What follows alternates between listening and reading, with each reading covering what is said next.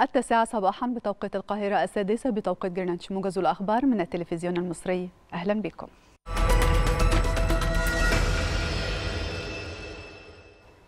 قال الرئيس عبد الفتاح السيسي إن حكم التاريخ وقواعد الجغرافيا قد صاغ ميثاق الشرف العربي في وجدان الضمير المصري. مما جعل مصر دائما وأبدا في صدارة الدفاع عن الأمة العربية.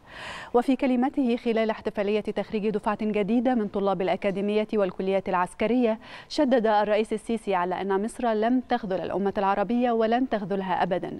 كما أكد الرئيس السيسي سعي مصر للسلام واعتباره خيارها الاستراتيجي الذي يحتتم عليها ألا تترك الأشقاء في فلسطين الغالية.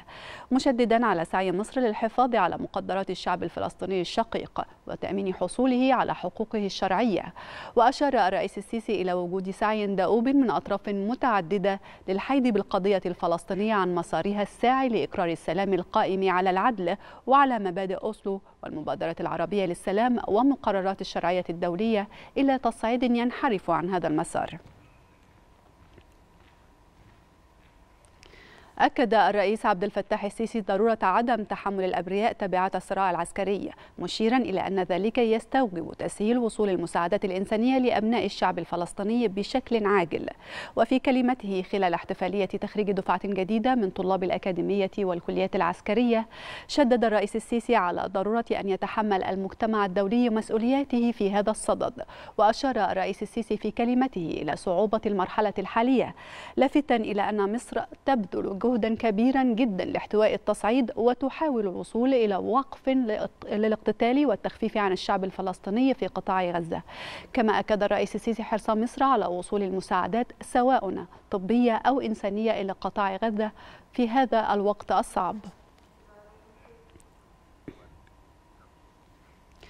أعرب الممثل السامي للاتحاد الأوروبي للشؤون الخارجية والسياسة الأمنية جوزيف بوريل عن دعمه لدعوة مصر لتوصيل المساعدات الإنسانية الدولية التي تشتد الحاجة إليها في قطاع غزة عبر مطار العريش. وأعرب عبر منصة إكس عن شكره لإعلان مصر أن معبر رفح سيظل مفتوحا وعاملا بما في ذلك نقل المساعدات الإنسانية وحالات الطوارئ.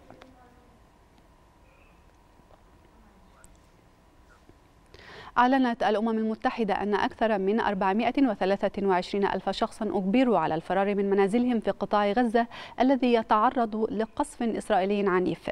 وقال مكتب تنسيق الشؤون الإنسانية التابع للأمم المتحدة أوشا في بيان إن عدد النازحين في القطاع وصل إلى 423378 نازحاً.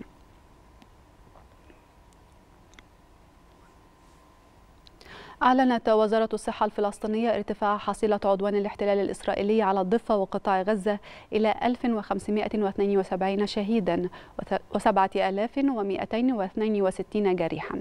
وأوضحت الصحة في بيان مقتضب أن حصيلة الشهداء ارتفعت في قطاع غزة إلى 1537 شهيدا و6612 مصابا.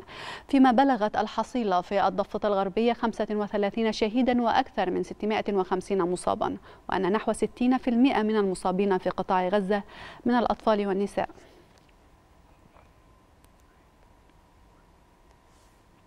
استقبلت الحملة الرسمية للمرشح الرئاسي عبد الفتاح السيسي بمقرها الرسمي بمحافظة القاهرة وفد المشيخة العامة للطرق الصوفية. واستقبل الوفد المستشار محمود فوزي رئيس الحملة الانتخابية للمرشح الرئاسي عبد الفتاح السيسي. مثمنا دور المشيخة البارز في المشاركة المشرفة في الأحداث الوطنية ومؤكدا اهتمام الدولة المصرية بتطوير الأضرحة والمساجد.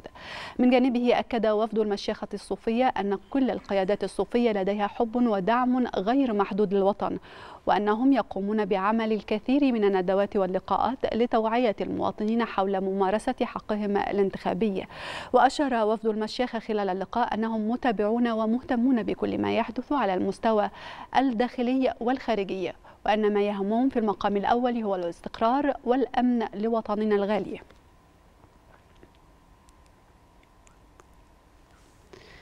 أعلن المرشح الجمهوري لمنصب رئيس مجلس النواب الأمريكي ستيف سكاليز سحب ترشحه في قرار يفاقم أزمة المؤسسة وكان سكاليز فاز الأربعاء في تصويت غير رسمي للحلول محل كيفن مكارثي الذي أقاله زملائه في الثالث من أكتوبر الجاري. لكن النائب عن لويزيانا فشل في الحصول على الدعم اللازم بسبب الخلافات بين نواب حزبه المنقسمين.